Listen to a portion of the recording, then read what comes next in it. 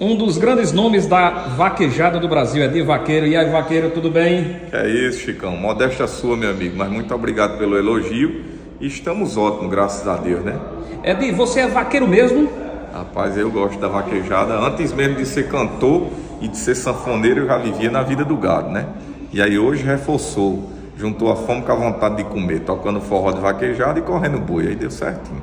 O vaqueiro já ganhou prêmios como vaqueiro, derrubando Já, boi? já sim. Lá no Horas de Vaqueiro tem um bocado de troféu. Não tem muitos como eu queria, não, mas aqui acolá o cabo belisca um, um prêmiozinho aqui, outro acolá. E eu também não tenho muito tempo de me dedicar totalmente à vaquejada, entendeu? Aí, mas aqui e E- acolá o cabo ganha. No boi, derrubando o boi, no cavalo, você é campeão.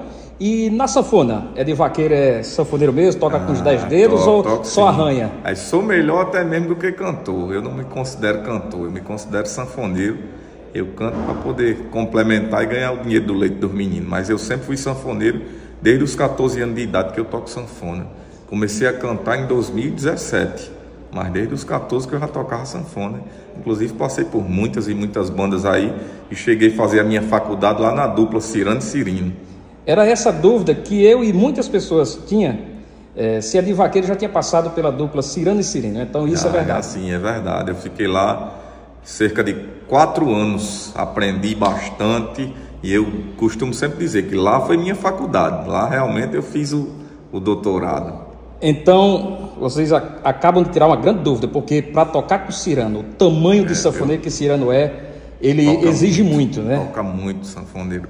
Eu, eu chamo ele até de mestre, ele sabe disso. Porque ele é um mestre da sanfona, ele toca muito. Da sanfona é um, um músico completo, né? Um cara que é um instrumentista de mão cheia, um cantor de mão cheia e compositor nem se fala. É tanto que eu chamo ele de mestre.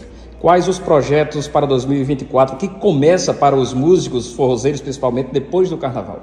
Rapaz, nós a gente vem aí com um EP, vamos gravar agora com cerca de oito músicas inéditas, músicas pancada mesmo que você vai ver. Música para se emocionar, falando da vaquejada, da família, né, e da atualidade aí. Esse é o nosso primeiro projeto para 2024. E aí em seguida vem um CD aí, um CD bem diferente que eu vou deixar aqui no segredo, vou deixar que a turma confira aí. Logo após o EP vem esse CD aí, um CD bem diferente e bem atípico.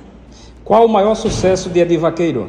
Hoje, creio eu que Ranchinho, né? Menina linda, por favor, casar mais eu.